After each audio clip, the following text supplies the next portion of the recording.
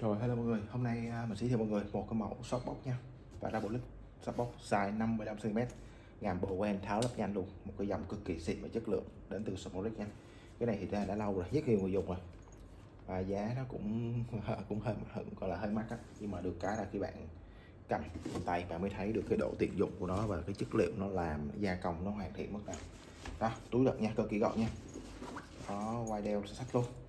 55 cm đó, rất là gọn nha. Nhiều khi bạn đi chụp ngoại cảnh rồi bạn chụp studio sẽ ốp nhanh đó bạn cứ làm 55 hoặc 85 nó chỉ 85 nó cao lên đây xíu. Rồi đến nơi bạn bung ra bạn chụp, xong bạn thu và bỏ vô túi sạch về, rất là tiện nha. Không có phải mất thời gian tháo lắp, rất là nhanh. Nó bung nó rất nhanh. Rồi mình sẽ mở hộp nha. Thì đi kèm có lưới tổ ong nè. Rồi những cái quả tảng sáng nè. Rồi đây là sắt bọc rồi cực kỳ gọn nha thấy là không rất là gọn nha Đó, không?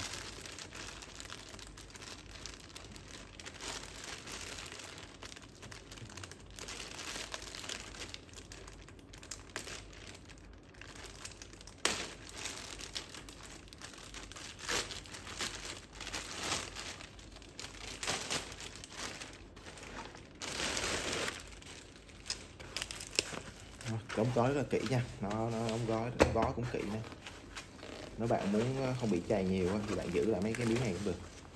Bạn lấy băng keo bạn ờ, cuốn lại để giữ lại khi khi chụp xong bạn bỏ cái bạn nhét vào. Để nó tránh ờ, chày cái phần này.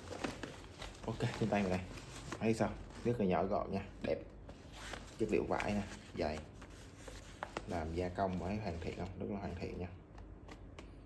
Đó, này là ngàm tháo bỏ nhanh nè bạn bung ra bạn gặp những cái này lên là nó sẽ vô cái khớp sẽ bung cái dù ra. Nó là giữ luôn. Rất là tiện nha ngàm bô quen kim loại nha chắc chắn. Chất lượng đáng tiền luôn. Thật sự mình à, đã khui hồi xưa mình xài những cái sắp bóc hồi xưa mỗi lần tháo lắp ra rất là chậm phải nhét từ cái cây vô cái lỗ rồi mất thời gian. Rồi mình cũng xài con uh, sự Godot uh, PL90L mà giờ nó bị gãy ngàm mà mình quăng ở trong kho rồi cũng ít dùng lắm mà tự nhiên nó bị gãy cái trục gãy cái khớp đó. thế là hư luôn nguyên cái, cái cái đó luôn. Mà chất liệu vải mình thấy Samurai làm nó xịn hơn con đó nhiều. Con đó 90 nó bán có chịu à đâu chín trăm mấy nha. Triệu con này tới một triệu tám năm mươi khác biệt bao nhiêu nha. Rồi con này thì có nhiều cách để mình bạn bung ra một á con này nhanh nhất luôn. Thì bạn à, để như vậy ép xuống. Để vô khớp là được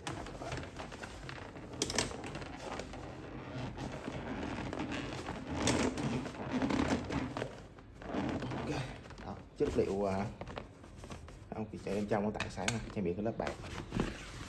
Xịn không?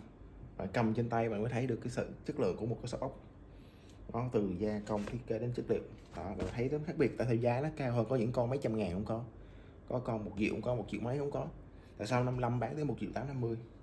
Giá nó cũng ngang những cái hãng Amaran hay là hàng à, Nanline Nanlite nó sao xem những cái luôn? Tại sao? Tại vì họ gia công nữa ha.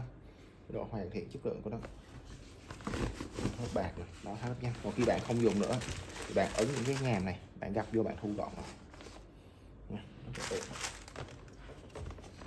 ok thì mình tí nữa mình sẽ gắn cái lưỡi tổ ong và cái tảng sáng vào. À, clip này mình unboxing giới thiệu mọi người thôi. Đó, kèm hai miếng luôn. Một miếng trong với một miếng ngoài. Rồi thêm một miếng lưỡi tổ ong nữa. Làm dáng ngay đây.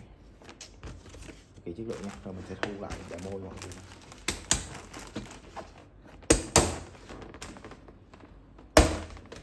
đó các bạn các bạn là làm đấu xứng với nhau nha này với này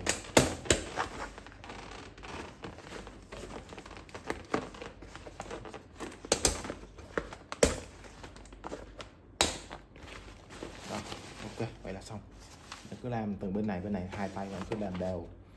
Cho nó ra bên đấu súng nó cùng gặp vô một lúc. Đó. Đó, này làm kiểu kim loại nè. Trong bảo vệ lên lớp thì cũng co giãn. Chung là đẹp chất lượng. Rồi, không dùng nữa bạn. Đó là ờ, bên này.